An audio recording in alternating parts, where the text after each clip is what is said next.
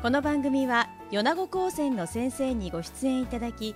科学建築などの専門科目から一般教養まで幅広い分野の知識情報をお話しいただきます。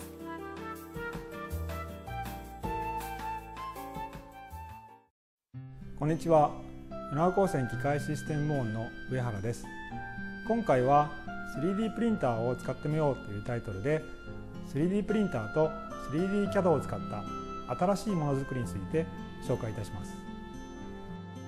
私たちは何か新しいものを作る時くっつけたり削ったり曲げたりして自分の思うような形に仕上げていきます。子供の頃粘土で苦労して貯金箱を作ったり鉛筆の先をカッターで削って尖らせたり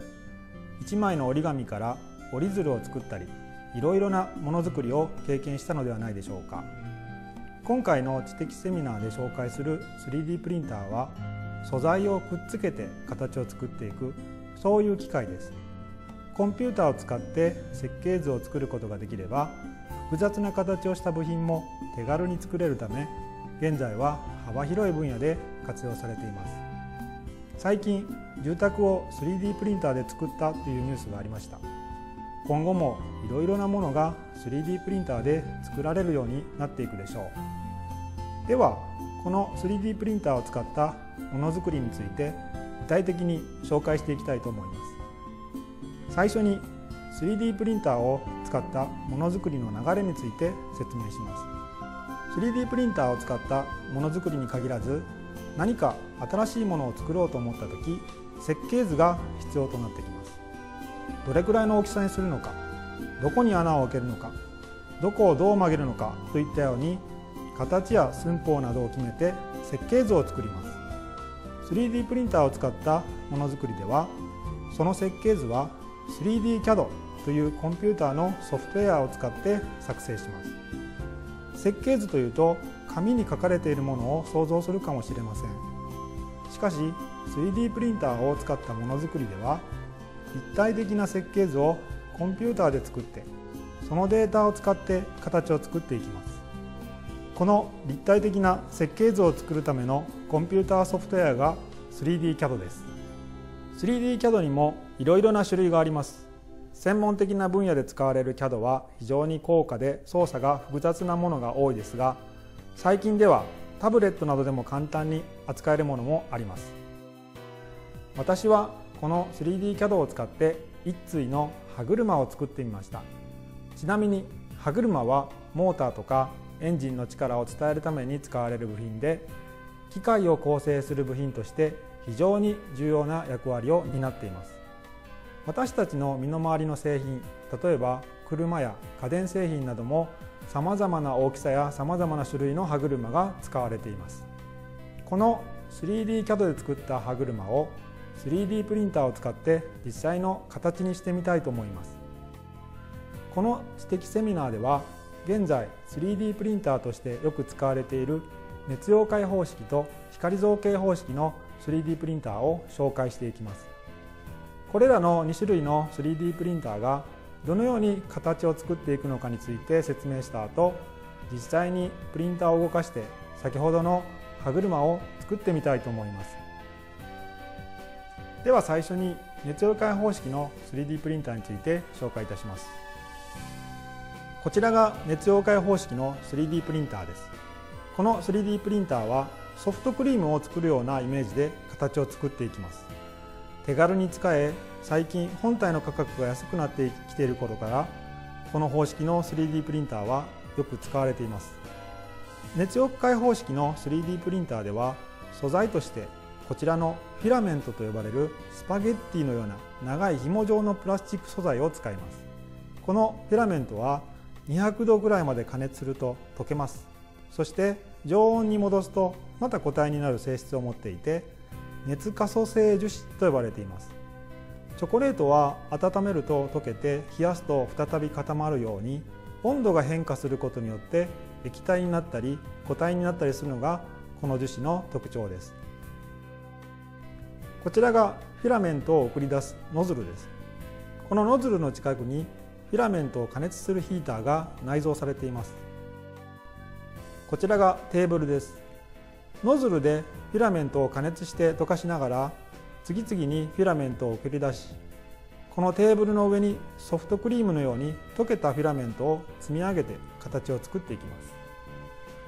このプリンターではノズルは左右に動きテーブルが前後に動きます。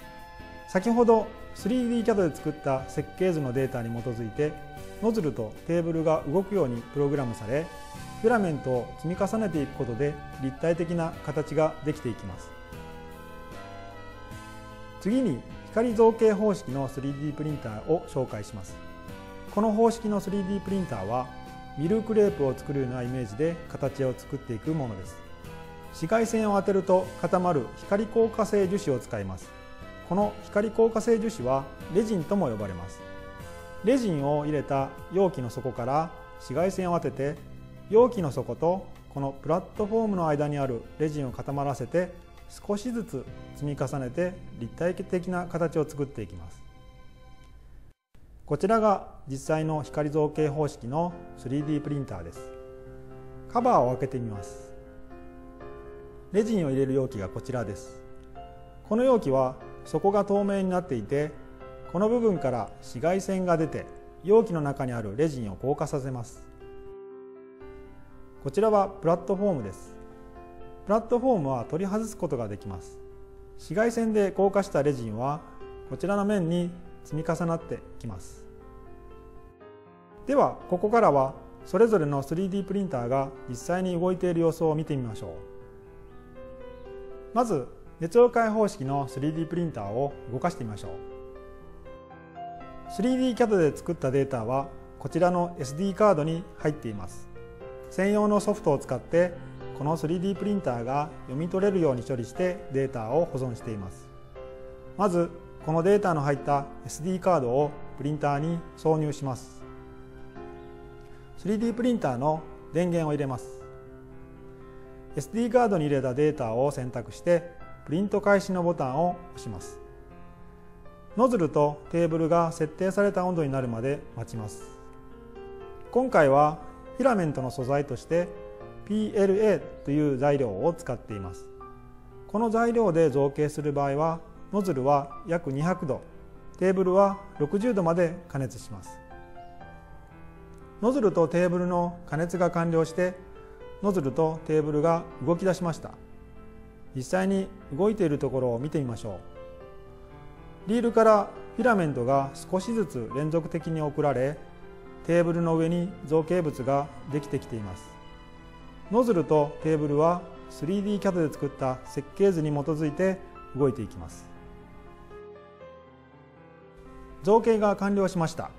こちらが熱溶解方式の 3D プリンターで造形した歯車です。造形時間は約1時間でした。造形中の部品がテーブルから剥がれないように補助的につけたサポート材料をニッパーやカッターを使って除去すれば完成です。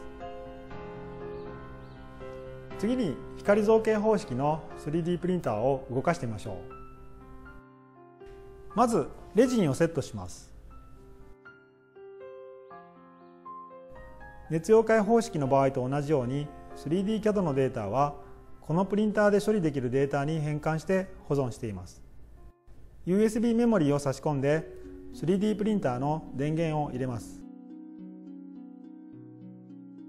メニューから USB メモリーのデータを選択してプリント開始ボタンを押します。プラットフォームが上から降りてきます。レジンを入れた容器の底とわずかに隙間を空けたところで一旦停止しました。紫外線の照射が開始しました。この画面に表示されている青い色で塗りつぶされた部分が紫外線が当たっているところです。一定時間レジンに紫外線を当てた後少しプラットフォームは上に上がってまた照射を続けていきます。このような作業を何度も何度も繰り返してプラットフォームにぶら下がるような形で形ができていきます。造形が終わったようです。造形にかかった時間は約1時間でした。ではできたものを見てみましょう。プラットフォームには液体のままのレジンが残っているのでこれを取り除き造形物を取り外します。そしてこちらの二次硬化装置を使って造形した部品にもう一度全体的に紫外線を当てて完全に硬化させて完成です。熱溶解方式と光造形方式の大きな違いは線をつなげて形を作っていくのと面を積み上げて形を作っていくという違いがあるということが分かっていただけたかと思います。では熱溶解方式と光造形方式で作った歯車を実際に見ながら比較してみましょう。まず仕上げについて見てみましょ